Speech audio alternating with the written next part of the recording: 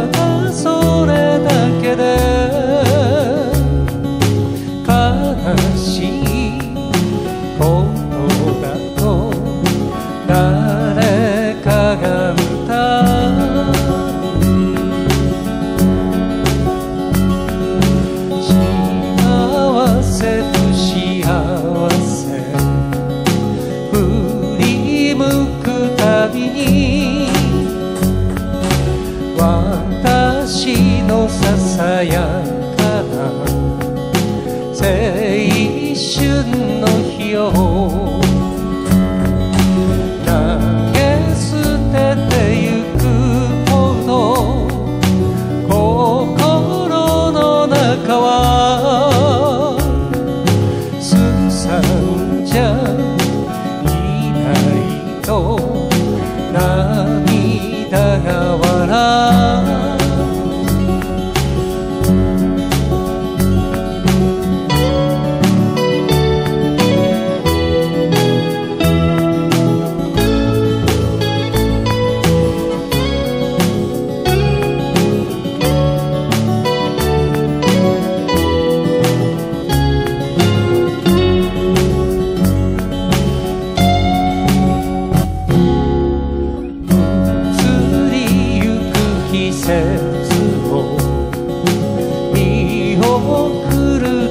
めに生まれてきたわけじゃないことだけは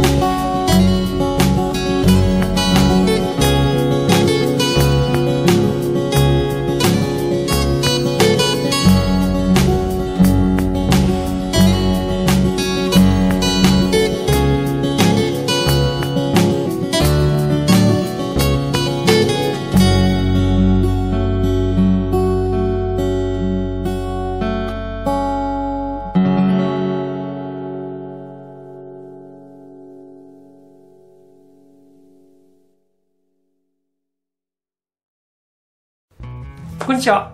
ゼロからギターでございます。どうもおおきにありがとうございます。えー、っと久しぶりにリクエストをいただきまして。